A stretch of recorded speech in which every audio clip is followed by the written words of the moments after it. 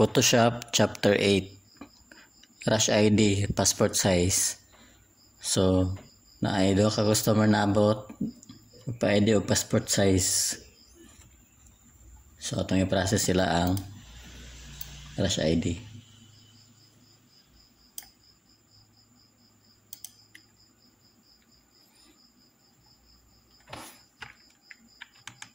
isa isa ka customer o kani isa kuya man sila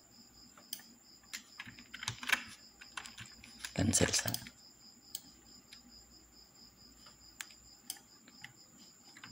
so ito i-crop muna na ang size atong passport size. Ito yun.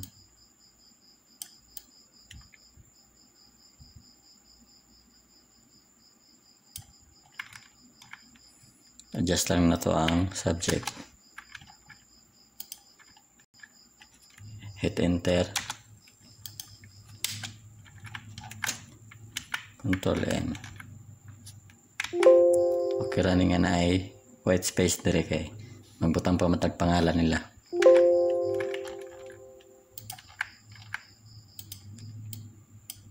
Kuha na to ang background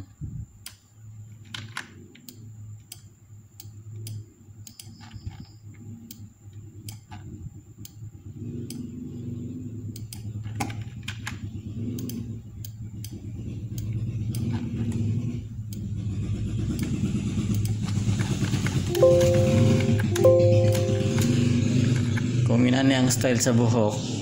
Dili na to siya ipintol nga ano kay morgig upaw.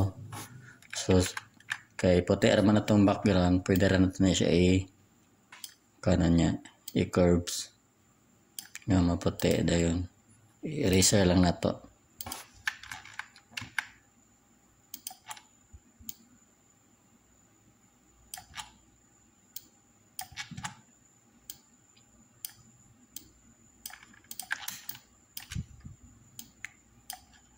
So ipinto lang na to antod ma lukop ang tibok lawas para ma-remove na to ang background.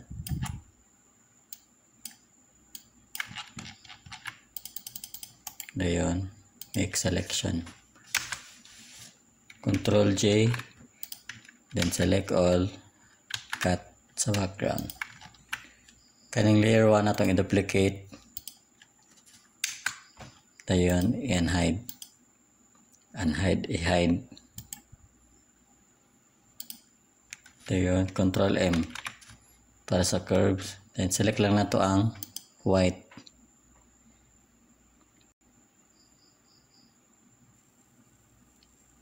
Naro, sample in image to set gray point. So kani white atong pilion para kani siyang area may mong puti. In an instant To balik sa dere.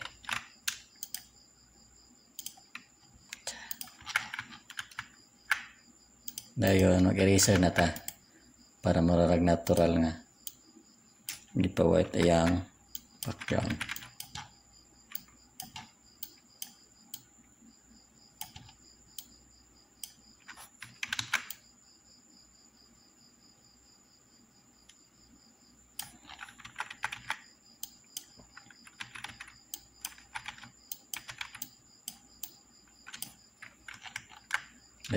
I-merge tanan. Or cancel sa kanila sanduhan. Enhance na to ang image. Brightness. Dayon, marquee. Control J, copy sa layer. Adjust. Then, itong i-type ang ngalan.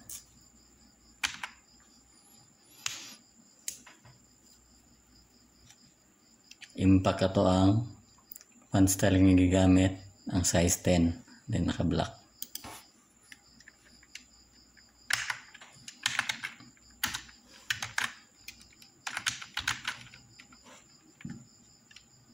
Edmar S. Ortiz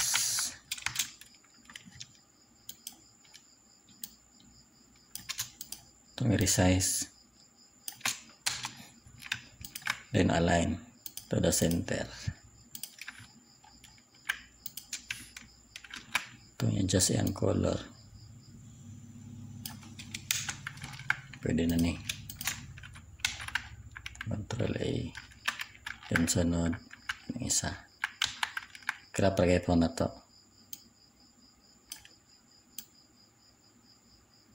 Focus ang entire subject. Enter escape or M.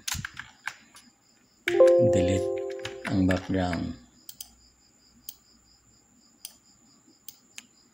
Kani sila required sila mag passport size. Mga kuan na sila CBO sa barangay. So nag record ang DILG og picture nila. Kay bago raman naman ang eleksyon so para sa ni gani ha.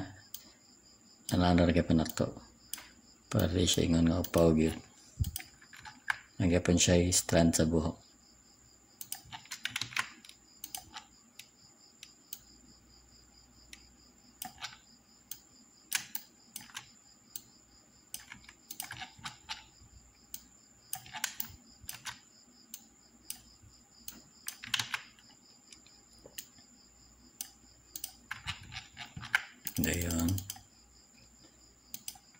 point, make selection, 0.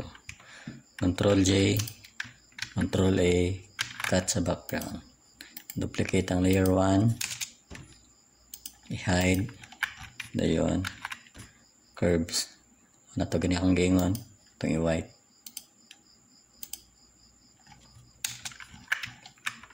Dayon, i-unhide. Ito reason eh. Sobra. Wala siya gielotan. Alotan ng background.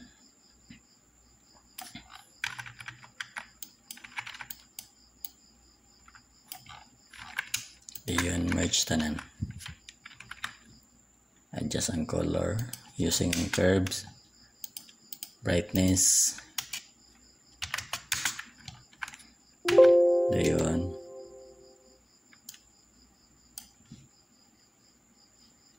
Select to dali. Or mag-create tag shape.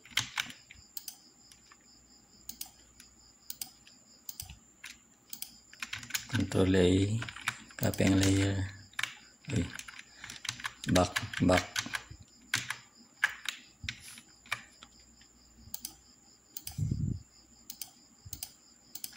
Control A control G para ma-adjust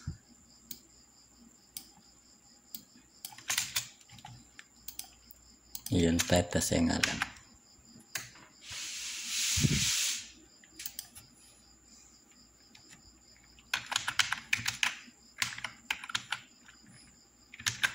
gray naman eh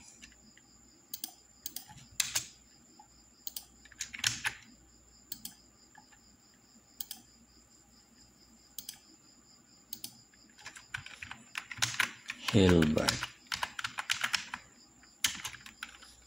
J. Bye. Resize na itong text. Align to the center. So, buhat sa ni. Ano ka na Puti-puti sa ngagtang. Di naman ka klaro kay gamay naman kaya itong passport size. Increase. Dayon, prepare ta sa to ang papel para pang print.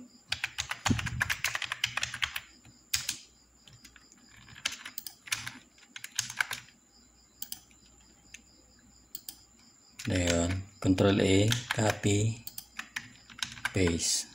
Itong tanga nag-stroke.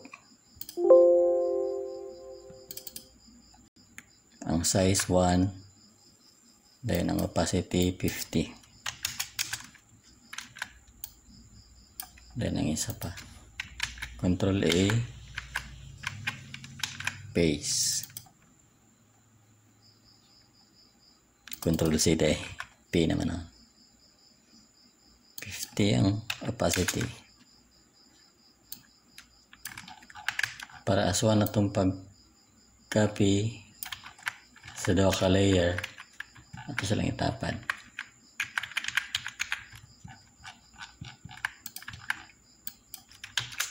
Uy.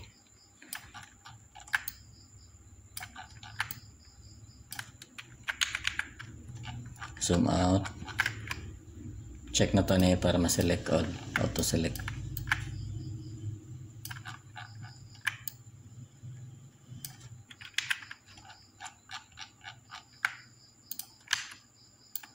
select all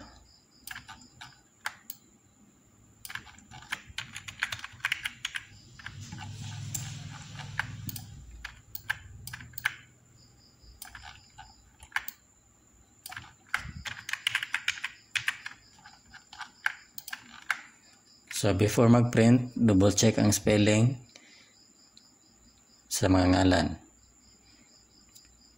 Okay, para walay damage. Ipodlose sa to ang materials.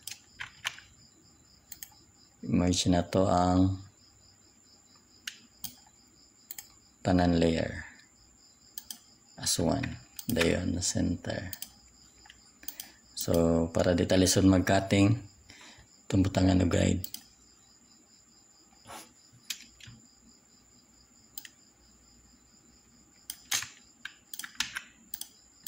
Shape.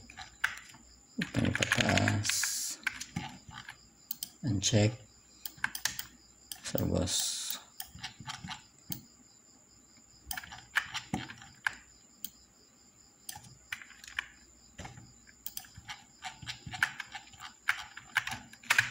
So, ito na i-print. Sa ngalan nga Rush ID, dapat dali ragin niya siya. For video purposes, itong step by step. So, ito na i-print. Nakaset na sa rear feed A4. Okay. Ito na i-print.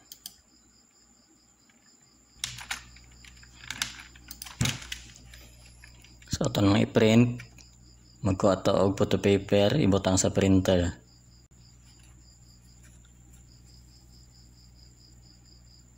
Then, na itong iset sa to ang printer, ang settings.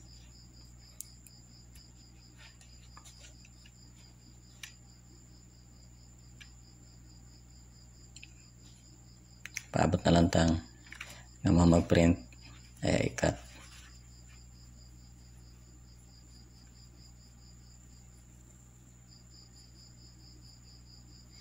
Ng atong printer gamit kay ang Epson Workforce.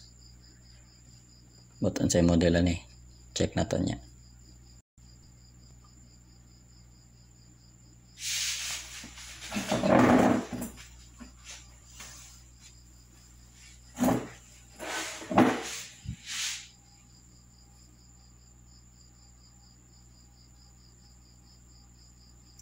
Manatong gi-print. So, ready na for cutting. Ito sa ang cuttingan sa paper cutter.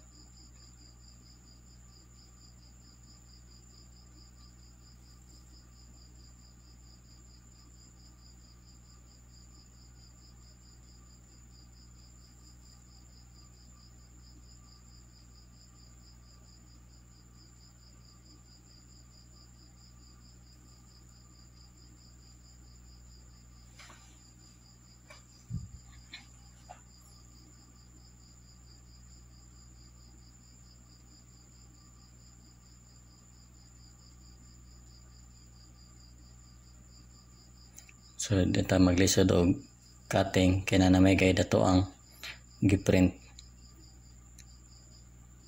Itong gibuhat na ito nga line ganiya. So, dali na lang. Cut kay cut na lang.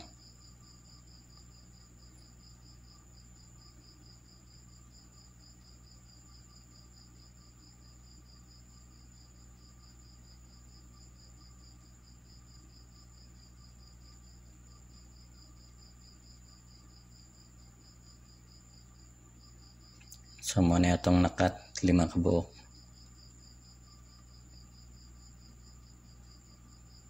Ang isa na pod.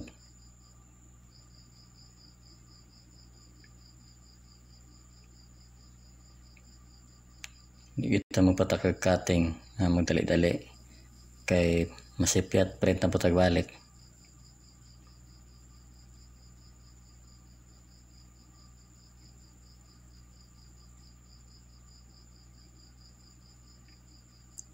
So, manag-cutting tanan.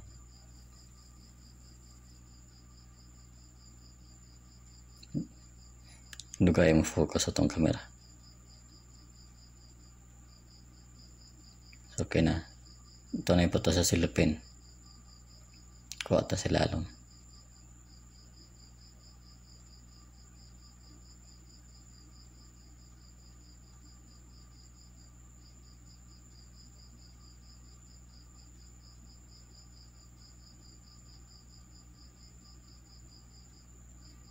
Then, ready na paratag sa tong customer. Nagkaputos na og packaging nga silupin pang ID. Thanks for watching.